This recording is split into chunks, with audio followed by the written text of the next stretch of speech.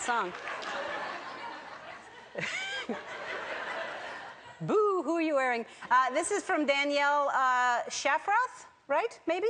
In Lincolnwood, uh, Illinois. This is a picture of my brother and me at a Halloween costume contest in Chicago. We had no idea what was going on. Mm. Well, how about that?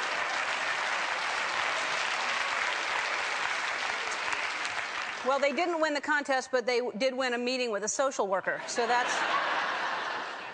Uh, Janice Wolf in Gassville, Arkansas. This is a picture of Duda, my Great Dane, and my best friend in the whole world. She loves the attention she gets when she wears a costume. Can you guess what she was last year?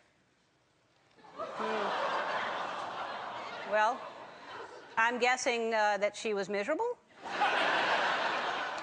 Or my second guess is she was a Great Danish. Great Danish. Thank you. Penny Davis from Franklin, Ohio. This is my grandson, Christopher Miller. He thought it would be cool to turn this Halloween costume around.